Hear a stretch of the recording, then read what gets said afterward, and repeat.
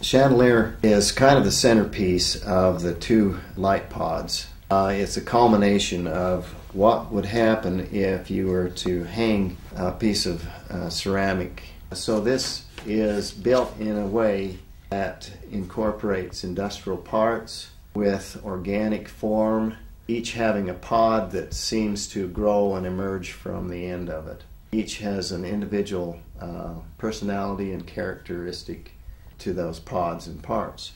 Uh, the size and the dimension of uh, the chandelier is about 24 by 24 by um, 19 inches in uh, height. So it is a rather large piece. This was one of the pieces that pushed my growth in ceramics. Uh, it required a tremendous amount of tools to put together to hold the structure so that it would remain intact while building it.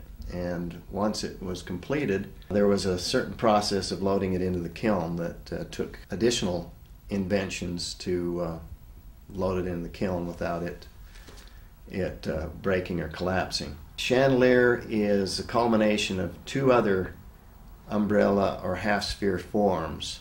The first form was uh, an experience in frustration, and it was a learning experience. And I don't have too much left of that piece.